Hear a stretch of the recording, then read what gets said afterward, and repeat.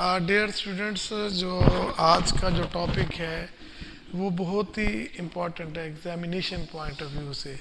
आपके pharmacy council के हर paper में स्टेलाइजेशन के ऊपर सेवन मार्क्स का, यानी कि पाँच नंबर आपके क्या हुआ लॉन्ग क्वेश्चन आ जाता है और दो नंबर आपके एम के आ जाते हैं। जर्नल देखते हैं कि स्टेलाइजेशन क्या होती है। देखिए, आप कोई भी सर्जिकल ऑपरेटर्स इस्तेमाल करते हैं इट शुड बी स्टीराइल ठीक है? इट शुड बी स्टीराइल तो अब स्टीराइल से जो हम मुराद ये लेते हैं कि कोई भी चीज़ हो ना वो फ्री ऑफ़ लाइफ हो।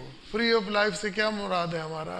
कि उसके ऊपर कोई किसी किस्म का कोई माइक्रो ऑर्गेनिज्म ना हो, ना बैक्टीरिया हो स्पोर हो, यानी फ्री फ्रॉम एनी लाइफ ठीक है? कोई उसके अंदर माइक्रो कंटेमिनेशन ना हो तो हम उसे क्या कहते हैं? स्टीराइल प्रोडक्ट कहते हैं। ओके मतलब जैसे कोई भी आप इंट्रावीनस मेडिसिन देंगे फ्लूड देंगे तो स्टीराइल होना चाहिए। सिरिंजेस हैं, वो भी स्टीराइल होना चाहिए। ठीक है ना? तो अगर इसी तरह सर्जिकल ऑपरेटर्स हैं, उनको भी स्टीराइल होना चाहिए। आपकी जो सर्जिकल टेबल है सर्जिकल रूम है, उसको भी स्टीराइल होना चाहिए, जितना मुमकिन हो सके। आप रिसर्च में जब माइक्रो ऑर्गेनिज्म को ग्रो करते हैं तो उस रिसर्च में भी वो जो ऑपरेटर्स होना चाहिए, वो सारा के सारा क्या होना चाहिए। स्टीराइल होना चाहिए, सारा के सारा क्या होना चाहिए। स्टीराइल होना चाहिए, ठीक है? तो अब स्टीरिलिटी नहीं होगी तो मेडिसिन में बहुत सारी कम्प्लिकेशन हो सकती है, बहुत सारी कम्प्लिकेशन हो सकती है, ठीक है? तो जब हम बात करेंगे अपना स्टीरलाइज की तो जिस अमल से हमने किस चीज़ को स्टीराइल करना होता है, उस अमल को हम कहते हैं स्टीरलाइजेशन यानी कि ये एक ऐसा प्रोसेस होता है, जिसमें किसी चीज़ को हम स्टीराइल कर लेते हैं, यानी कि उसे फ्री ऑफ़ लाइफ कर देते हैं, ठीक है? तो अब इसके कई तरीके हो सकते हैं, कई तरीके हो सकते हैं।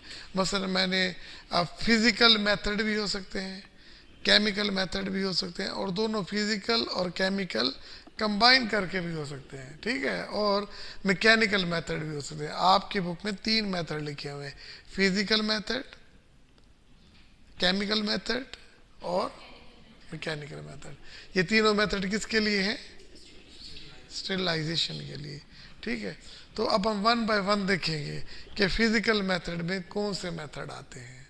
देखिए फ़िज़िकल मेथड में पहला सिंपल है, आपके घर में जो आग जल रही है, आप उसे बाय हीट कर लेंगे, ठीक है? तो अब इंटरेक्ट हीट क्या होता है कि आप पहले एयर को हीट करेंगे और एयर के साथ उसे कहते हैं ड्राई ही ड्राई एयर ड्राई हीट जो है ना स्टेरलाइजेशन ठीक है? उसे ड्राई हीट स्टेरलाइजेशन ओके फिर इसके बाद आप किसी चीज़ को स्टेराइल करते हैं मॉइस्चर के साथ, किसके साथ? मॉइस्चर मॉइस्चर का पता है ना आपको? आप बाद का देखें ना, अगर आप हंडिया से ऐसे थाली उठाने और मॉइस्चर लग जाए तो हाथ ज़्यादा जलता है as compare to simple heat dry heat से, वो ज़्यादा गर्म होती है स्टीम तो स्टीम स्टरलाइजेशन तो हम स्टरलाइजेशन के साथ भी अगर मैं ड्राई हीट स्टरलाइजेशन करूँ या मॉइस्ट हीट से करूँ, यानी कि स्टीम के साथ करूँ तो ज़्यादा हीट किसमें होगी? स्टीम में. तो जल्दी किसमें होगा? स्टीम में. देखो, दो ही तरीके होंगे। या तो हीट कम हो तो फिर ड्यूरेशन क्या होगा? ज़्यादा होगा। या हीट ज़्यादा हो गया तो ड्यूरेशन क्या होगी? कम होगी। किस चीज़ की? स्टरलाइजेशन की। स्टरलाइजेशन के प्रोसेस की हीट कम होगी। ओके समझ आ गई कि नहीं आ गई? तो अब देखिए फ़िज़िकल मेथड में और देखिए, और रेडिएशंस क्या होती हैं?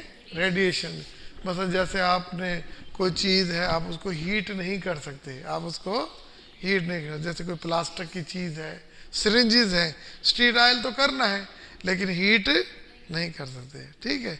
तो फिर हम उन चीज़ों को, ये ज़रा महँगा भी होता है स्टेरलाइजेशन करते हैं बाय रेडिएशन ठीक है? ये फ़िज़िकल मेथड के तीन एग्जांपल हैं। मेथड तीन और फ़िज़िकल के आगे भी तीन। देखिए फ़िज़िकल केमिकल एंड मैकेनिकल और फ़िज़िकल के तीन है बाय ड्राई हीट स्टेरलाइजेशन और मॉइस्ट हीट स्टेरलाइजेशन और क्या है?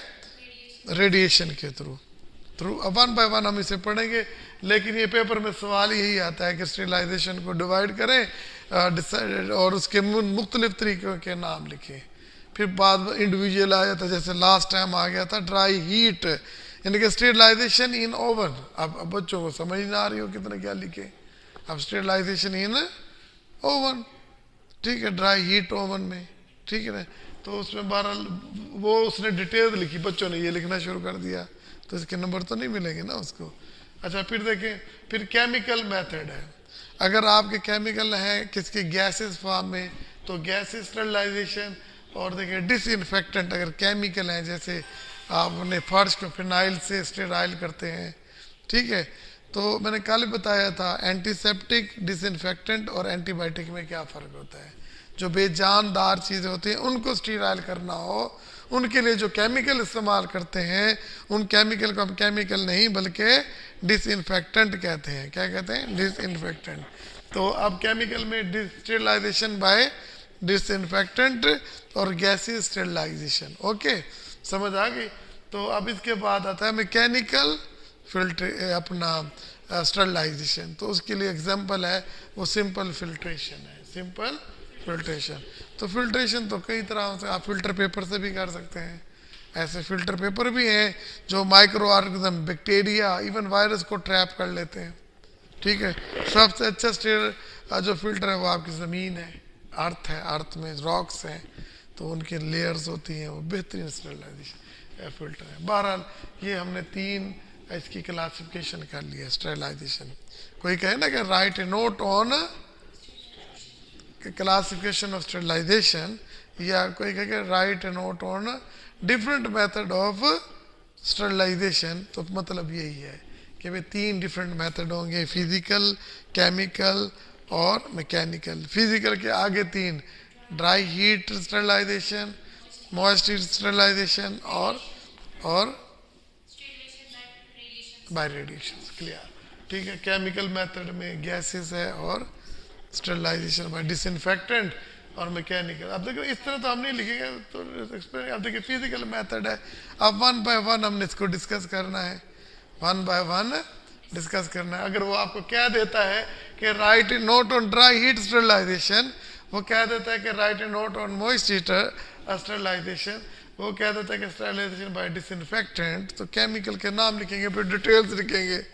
इस पर डिटेल्स नहीं लिखेंगे ओके जब मेथड की डिस्कशन है ना, बस एग्जांपल देंगे बस। लेकिन जब वो कहता है कि फ़िज़िकल मेथड के नाम लिखे, आपने तीन और डिटेल्स लिखे, किसकी बोला? ड्राई हीट स्टरलाइजेशन के। क्लियर है? देखो भाई, ये चीज़ है मेरे पास, एक सब्सटेंस है। ठीक है? वो सब्सटेंस क्या हो सकता है? जिसे मैं ना डायरेक्ट हीट करूँगा। डायरेक्ट हीट करूँगा और वो क्या हो जाएगा? स्टीराइल हो जाएगा। तो क्या ऐसे थोड़ी देर के लिए करूँगा? नो कितनी देर के लिए करूँगा? ओके अगर टेम्परेचर ज़्यादा होगा ड्यूरेशन कम होगी। अगर टेम्परेचर कम होगा तो ड्यूरेशन हीट अगर ज़्यादा होगी तो ड्यूरेशन कम होगा। और अगर हीट कम होगी तो ड्यूरेशन ज़्यादा होगा। हमने मारना है किसको बोला? माइक्रोआर्जम ठीक है अच्छा जैसे हो तो हमने तो उसको स्टीराइल करना ही करना है। ओके ये बात समझ आ गई आपको? तो इसने ये कहा कि फ़िज़िकल मेथड में, कि हमने कहा कि जी hot air oven hot air oven अगर हार्ट एयर ओवन का टेम्परेचर 160 सेवेंटी आवाज़ कहता ऐसे आता है कि one cent one sixty centigrade equal to three ten two twenty four twenty three twenty तो थ्री ट्वेंटी फार नाइट के बराबर होता है ओके और इसके अलावा 190 सेंटीग्रेड कितना 374 ये बाद तरीका मैं बताऊँगा कि कन्वर्जन कैसे होती है, ठीक है? तो आपने फ़िलहाल ये लिखना है कि अगर आपने 160 सेंटीग्रेड टेम्परेचर रखा है या 320 फार नाइट रखा है तो उसको कितनी देर के लिए करेंगे? हीट टू आवर्स ओवन में कितने देर रखेंगे? टू आवर्स अगर मैं क्या करता हूँ? 190 रखता हूँ। वन नाइन्टी और अनरैप्ड है। यानी कि उसके ऊपर मैंने कोई कपड़ा या न्यूज़ अखबार नहीं मिले, उसे टर्न रैप किया हुआ है। तो उसको मैं सिक्स मिनट के लिए करूँगा। अनरैप्ड के लिए कितना करूँगा? सिक्स मिनट के लिए। टेम्परेचर कितना किया? One sixty to one ninety जब वन सिक्सटी था। तो टू आवर्स था। और मुझे जल्दी जब मैंने वन नाइन्टी कर लिया तो कितने मिनट करना सिक्स मिनट में वो स्ट्रीट आयल हो जाएगी, ओके? अब इसके बाद आपके पास अगर रैप्ट है तो आपने ट्वेल्व मिनट्स अब ये आपका एम होगा कि अगर छः आपने पढ़ा नहीं हुआ तो कभी याद नहीं होगा। जब पढ़ लिया तो वो क्या है कि मेरे पास दो ही चीज़ें हैं। एक है तो सबसे रैप्ट है और एक अनरैप्ड है। ठीक है, रैप्ड के लिए कितने होगा? ट्वेल्व मिनट्स और उसके लिए सिक्स मिनट और लव क्या है? Hot air oven. Hot air oven. Clear हो गया जी? अच्छा कहते हैं कि ये जो ड्राई हीट मेथड स्टेरिलाइजेशन है, हम किसके लिए इस्तेमाल कर सकते हैं, किसके लिए इस्तेमाल नहीं कर सकते? ये अंडरस्टूड सी बात है ना? देखो, पहले तो हमने बताया कि जी हमने ड्यूरेशन पहले हमने इंग्लिश में उसने लिख दिया है कि जी अगर आपका टेम्परेचर ज़्यादा होगा तो ड्यूरेशन क्या होगा? कम होगा हीट ज़्यादा कम होगी तो ड्यूरेशन ज़्यादा होगी। ओके? फिर आप उसने कहा कि कौन से सब्सटेंस हैं जिनको हम स्टेराइल इस मेथड से कर सकते हैं? उनमें कहता है फिक्स्ड ऑयल क्या है? फिक्स्ड ऑयल फिक्स्ड ऑयल जो आपके घर में भी होते हैं। लिक्विड पैराफिन लिक्विड पैराफिन और पेट्रोलियम ग्लाइकॉल देखो ये सारे ऑयल ही है ना। Fixed oil liquid paraffin petroleum paraffin और ग्लाइकॉल अच्छा पाउडर्स क्या होते हैं? जितने भी पाउडर्स होते हैं, हम हॉट एयर ओवन में कर सकते हैं। और इसके अलावा सर्जिकल इंस्ट्रूमेंट सर्जिकल इंस्ट्रूमेंट मतलब जैसे उसका कटर होता है, उसकी फॉरसेप्स होती है सीजर होते हैं तो हम उन्हें कर सकते हैं। गिलास कैट गट जिससे टाँके के बाद धागा लाता है कैट गट है, ठीक है ना? स्विचर्स होते हैं तो उनको हम इसके साथ स्टेरलाइज कर सकते हैं, ठीक है? और जो नहीं कर सकते, ऐसी चीज़ें जो वोलाटाइल हो जो गर्म करने से फ़ौरन उड़ जाएँगी तो वोलाटाइल प्रिपरेशन हम नहीं कर सकते। और ऐसे सर्जिकल ड्रेसिंग सर्जिकल जिसमें काटन होगा ठीक है सर्जिकल ड्रेसिंग में क्या होगा? काटन होगा टेप होगी तो वो क्या होगा? काटन क्या हो जाएगा? जल जाएगा। काटन क्या हो जाएगा? जल जाएगा। ठीक है? तो इससे भी आपका जो है इस चीज़ को आप हॉट एयर ओवन इस्तेमाल नहीं कर सकते। मेरे बच्चे समझ आइए? देखो, हमने एक बात अब तक कितना पढ़ा? तीन मेथड पढ़े, हर मेथड की एग्जांपल्स पढ़ी, फिर राइट एंड नोट किया किसके ऊपर? ड्राई हीट के साथ तो उसके साथ लिखा है कि 190 160 टेम्परेचर पे क्या कुछ होने वाला है? रैप डाउन ड्राफ्ट के लिए कितना घंटा? दो घंटा बारह छः मिनट, बारह मिनट, ये याद किया। और फिर हमने कहा कि कौन से सब्सटेंस हम इसके साथ स्टेराइल कर सकते हैं? देखिए फिक्स्ड ऑयल था, है? ठीक है? और और क्या था? लिक्विड पैराफिन था, और जो है ग्लाइकॉल था पेट्रोलियम ग्लाइकॉल है पाउडर्स है glass surgical ware surgical operators हैं ग्लास वेयर ग्लास वेयर क्या होगी? पिपट होगी। बीकर होंगे पैट्री डिश होगी तो इस तरह की जो भी चीज़ें होंगी, उनको हम स्टीराइल कर सकते हैं। फिर हम लिखते हैं कि volatile preparation can not be अब देखिए, अब तीन हेडिंग्स किए हैं। हमने पहले उसका इंट्रोडक्शन दिया है, फिर हमने वो सब्सटेंस जो कर सकते हैं, उनका ज़िक्र किया है। अब हम मैकेनिज्म लिखेंगे कि भाई ये माइक्रो ऑर्गेनिज्म को कैसे मारते हैं, कैसे किल करते हैं। मतलब मेरे पास एक ग्लास वेयर है, इसके ऊपर माइक्रो ऑर्गेनिज्म लगा हुआ है। मैंने इसे ड्राई ओवन हीट में रख दी, इसके अंदर रख दिया तो अब मुझे पता लग गया स्टीराइल आप मुझे कहते हैं, भाईजान, कैसे हुआ? कैसे हुआ? तो ऐसे जब हमने से हीट किया है ना तो उसकी ऑक्सीडेशन होगी क्या हो गई? ऑक्सीडेशन होगी ठीक है। अब हमें पता है, हमें पता है कि मॉइस्ट हीट में हीट ज़्यादा होती है इस जो, और जो ड्राई हीट में हीट कम होती है तो इसलिए इसका ड्यूरेशन जो होगा ना, वो क्या होगा? हायर होगा। क्या होगा? हायर होगा। और क्या मतलब है कि अगर मॉइस्ट में अपना दस मिनट के लिए तो ये एक घंटा ही होगा। मैं मिसाल दे रहा हूँ, वैसे ही। ठीक है, मैंने बच्चे समझ आइए ना? तो इसलिए यहाँ पर हायर टेम्परेचर होगा और ड्यूरेशन हायर होगा। अगर उस टेम्परेचर में रखेंगे तो ड्यूरेशन हाई होगा। ओके अब देखिए एडवांटेज इसी में मैं बता चुका हूँ। एडवांटेज क्या है? ये अपना ये जो मेथड है हॉट एयर ओवन का। भाई, पहला एडवांटेज तो यही होगा ना सर्जिकल ऑपरेटर्स ग्लास वेयर को हम स्टील आयल कर सकते हैं। ये वही पहले बात डिस्कस कर चुके हैं ना। इनको हम स्टील आयल कर सकते हैं। फिर दूसरा, ये जो मेटल इक्विपमेंट होते हैं जिनमें हम ये प्रेटस कर रहे होते हैं, अगर ड्राई हीट करेंगे तो लॉन्ग अरसे के लिए चलेंगे। जब मॉइस्ट हीट के साथ करेंगे तो उन्हें जंग लग जाएगा। तो फिर कुछ अरसे के बाद वो ऑपरेटस डीके ख़राब हो जाएगा। ठीक है ना? उस जंग लग जाएगा रस्टिंग हो जाएगी।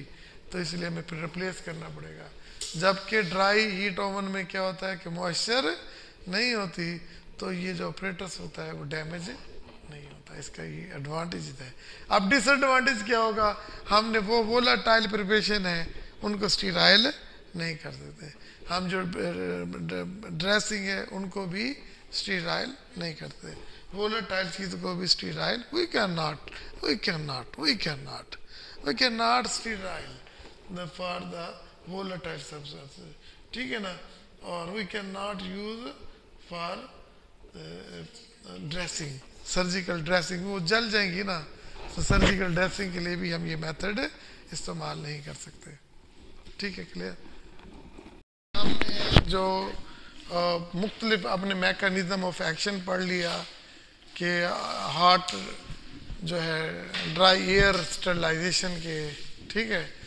तो अब हम पढ़ने जा रहे हैं कि इनके कौन कौन से मेथड हैं जिनके थ्रू हम ना ड्राई हीट के साथ स्टरलाइजेशन कर सकते हैं। बाद आपने देखा कि कुछ जो जरा होते थे, किसी जख्म को काटना था तो वो क्या करते थे जो उनके पास गर्म करते हैं नाइफ को और फिर उसे कट करते हैं, फिर गर्म करते हैं बार बार गर्म करके ना उसको साफ़ करते हैं, ठीक है? जैसे आपने अर्तुगल ड्रामा देखा तो उसमें जब वो उसकी गोली निकालता है तो तलवार को फिर गर्म करता है, फिर निकालता है, फिर गर्म करता है, फिर कर रहा है। तो उसमें रिपीट रिपीट किया जाता है कि आपके पास जो भी अपरेटस है ना तो आपने उसको कि जैसे फारसेप्स है नाइफ्स हैं, ठीक है नीडल्स हैं, देखिए ब्लेड्स हैं, ठीक है, उनको बार बार आपने क्या करना है? गर्म करना है। अब देखिए, गर्म करने का ये मुराद नहीं है कि जी आप उसे तरीके से, बस जैसे ये ना कि ये बंसन बर्नर है ठीक है? अब इसका फ्लेम के दो हिस्से होते हैं, एक बाहर वाला होता है, एक अंदर वाला होता है। जो ऊपर वाला होता है ना, वो हार्ट होता है। तो आपने यहाँ नहीं यहाँ रख के ना उसको गर्म करना था। हार्ड पोर्शन पे। किसके ऊपर? हाँ बंसन बर्नर ठीक है? तो ये बर्नर होता है। आप लैब में ऊपर भी पड़े हुए हैं। मैं आपको दिखाऊँगा। देखिए कि फ्लेमिंग जिस सब्सटेंस को आपने स्टीराइल करना है, जिस सब्सटेंस को आपने स्टीराइल करना है, उसको फ्री ऑफ़ पैथोजिन माइक्रोऑर्गेनिज्म करना है तो आप डायरेक्ट उसको इस जब ऐसे रख देंगे, इस तरह ऐसे रख देंगे। ओके यहाँ पकड़ेंगे और से फिर hard part of the Bunsen burner flame पे उसको गर्म करेंगे for few second for few second for fuse और फिर उसको रिपीटेड सेवरल टाइम यूज़ करेंगे, फिर गर्म करेंगे सेवरल टाइम रिपीट करेंगे। और इस तरीके में जो हमने, जो फ्लेमिंग का मेथड है तो उसमें हम जो करते हैं वो प्लास्टिक वाली चीज़ तो नहीं होगी ना। उसमें ड्रेसिंग भी नहीं होगी। उसमें क्या होगा? फारसेप्स होगा उसमें ब्लेड्स होंगे उसके ऊपर नाइफ होंगे नीडल्स होंगे और वायर लूप वायर लूप होते ना जैसे ये हमने ये बना दे ये ये ये, ये प्लाटिनम की वायर है यहाँ पे एक लूप बना दे। वो जो इनोक्यूलेशन नहीं पढ़ा था हमने तो वो ये यही था ना वो वायर लूप एलुमिनियम की बनी होती है तो उसके एज ऐसे गर्म करते हैं, फिर वो पैटी डिश जो थी उसमें से सैंपल को कलेक्ट करते हैं।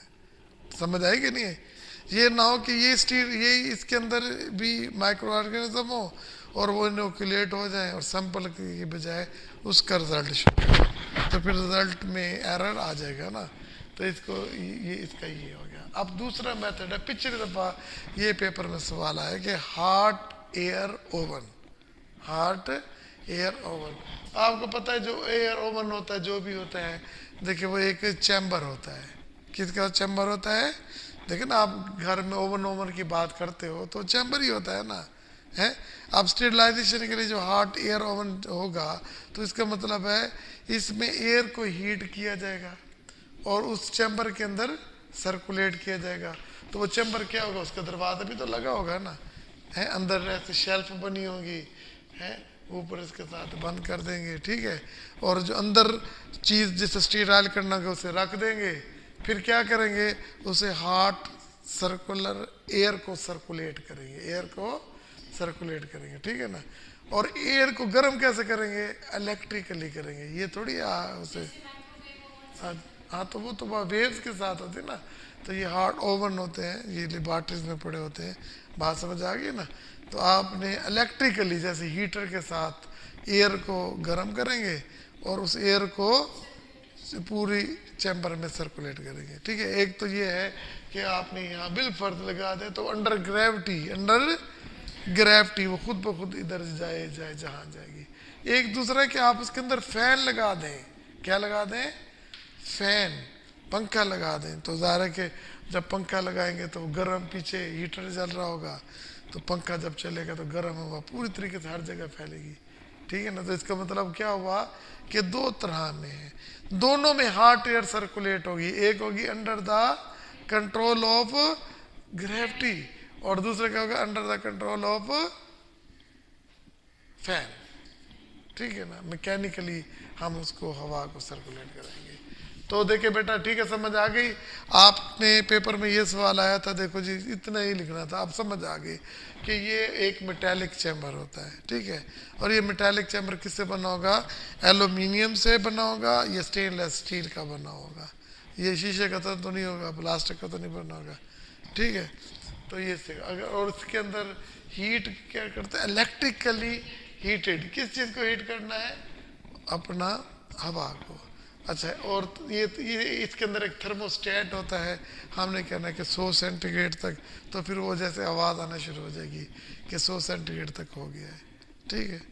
तो फिर टाइम दे देंगे। जैसे 100 सेंटीग्रेड तक टेम्परेचर जाएगा हम 20 मिनट करना है आधा घंटा करना है घंटा करना है वो हम टाइम नोट कर लेंगे। ओके टाइमर साथ लगा होगा देखिए और ये देखिए इलेक्ट्रिकली हीटेड ठीक है ना? और ये कितने टाइप का होता है? दो टाइप का। ठीक है? Air is circulated by gravity है? और ये कन्वेंशन होता है चलना to all parts of the chamber okay यानी कि हवा, लहरें बन के न सारे चैम्बर में फैलेंगी under the force of gravity होता है। और through the metallic mechanical convention type यानी कि मैकेनिकल तरीके से उस हवा को पूरे चैम्बर में से सर्कुलेट करेंगे, ठीक है? तो इन दोनों में से ज़्यादा बेहतर यही होता है। ठीक है? इस पर्पज के लिए हमने क्या यूज़ करते हैं? फ़ैन करते हैं। ठीक है? इस तरीके से हम किस चीज़ को स्ट्रीट आयल कर सकते हैं? इससे हमने गिलास वेयर कर सकते हैं। क्या कर सकते हैं? गिलास वेयर ओके और ये देखिए, ये ये मयरिंग सलाड होती हैं, ये टेस्ट ट्यूब होती हैं, ये गिलास वेयर में होते ना? वो कहते हैं इस तरह के, देखिए कोनिकल फ्लास्क कोनिकल फ्लास्क कैसे होती है, ये सॉरी ठीक है? कोनिकल सॉरी कोनिकल फ्लास्क ठीक है? कहता है कि ये इसे हमने प्लग ऐसे बंद कर देना है। ठीक है? क्लियर और किससे करना है? नॉन एब्जॉर्बेंट कॉटन के साथ। नॉन एब्जॉर्बेंट वूल कॉटन के साथ इसे प्लज कर देना है। और इस शुड बी अगर हमने अब्जार्बेंट रख लिया ना तो वो क्या हो जाएगा? शुड बी सेचूरेटेड वो सेचुरेटेड हो जाएगा, ठीक है ना? तो ये हमने दो मेथड पढ़ लिए। पहला फ्लैमिंग दूसरा हार्ट देखिए, कोई कितना भी इंटेलिजेंट आदमी क्यों ना हो? आपने अपने घर में जेर में रख के ओवन, भाई ओवन होता है, उसके अंदर इलेक्ट्रिकली हीट होता है थर्मोस्टेट होता है, चीज़ें हम रखते हैं, बाहर निकालते हैं स्टेराइल हो गया। वो तो लिख लेंगे। तो और इसका ये ये ये चीज़ें हम स्ट्रेट आ रही ये भी लिख लेंगे, लेकिन कोई थोड़ा सा इशारा हो ना। अब जैसे एक दफ़ा मैंने डिस्कस कर लिया, अब कभी भूलेंगे आप। और हमने इसमें जो लिखना है, जिसके लिए नंबर है बुक ने कहा है, ये दो तरह के होते हैं। क्या होते हैं? दो की तरह के। एक होता है स्पेसिफिक ग्रेविटी के अंदर होता है, और दूसरा होता है मैकेनिकल फोर्स के थ्रू होता है फ़ैन के थ्रू होता है। ठीक है? अब देखिए फ्लेमिंग में भी यही कुछ लिखा है। Hot part of the flame of the Bunsen flame ठीक है? तो उसके क्या करते हैं? मैनी टाइम्स रिपीट करते हैं मैनी टाइम रिपीट करते हैं। वरना तो अभी वो लगता है कि जी फ्लेमिंग के साथ हम उसे गर्म करते हैं और वो फ्लेम वो स्टेराइल हो जाता है। लेकिन इसमें और उसमें फ़र्क है। रिपीटेड इट और कितनी देर के लिए करना है? फॉर फ्यू सेकेंड के लिए करना है।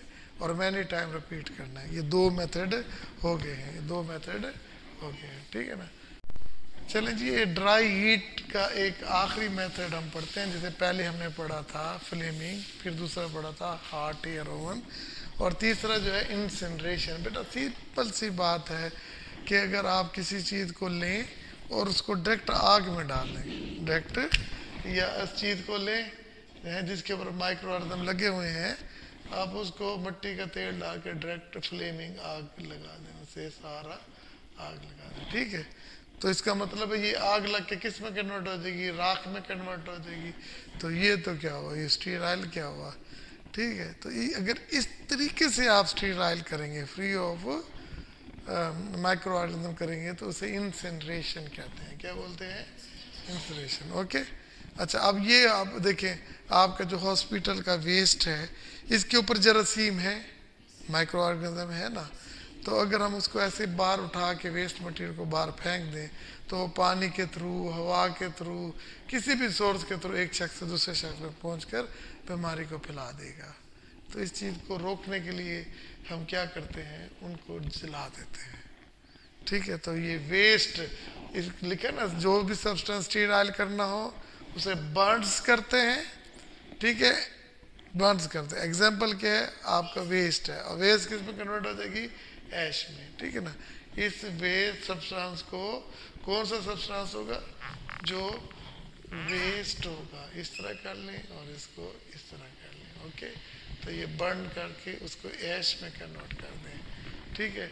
और ये वेस्ट हमने कौन सा है? जो आम गली मोले वाले? नहीं, ये कुछ होगा मेडिकल और बाय हैजर्ड वेस्ट मतलब किसी की इंटेस्टाइन काट ली, किसी की रसोली काट ली, है, और उसे बाहर फेंकेंगे नहीं, उसे जला देंगे। ठीक है ना? याद हो गया? तो ये इस तरह है। तो ये आपका ड्राई बंद कर दें। ठीक है ना? ड्राई हीट स्टरलाइजेशन आपको मुकम्मल कर लिया।